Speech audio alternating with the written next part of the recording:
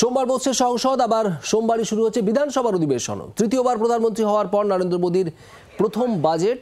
তবে বিরোধীরা এবার অনেক শক্তিশালী, ফলে বাজেট অধিবেশন যে খুব মসৃণ হবে তা নয়। বিরোধীরা ঠিক করেছে এবারের অধিবেশনে কাশ্মীরে সন্ত্রাসবাদের পুনরুত্থান নিয়ে প্রশ্ন তুলবে তারা। একই সঙ্গে তুলে ধরা হবে মণিপুর। উচ্চশিক্ষার পরিস্থিতি মূল্য বৃদ্ধির মতো ইস্যু। বিহার, অন্ধ্রপ্রদেশ, ওড়িশাকে বিশেষ মর্যাদার দাবিও সংসদে তোলা হতে পারে। উল্টোদিকে, বিধানসভার অধিবেশনে প্রথম দিন শোক প্রস্তাবের মধ্য দিয়ে মুলতুবি হয়ে যেতে পারে অধিবেশন। এই অধিবেশনে দেশে তিনটি ফৌজদারি আইন বলবৎ করা নিয়ে একটি প্রস্তাব আনতে পারে রাজ্য।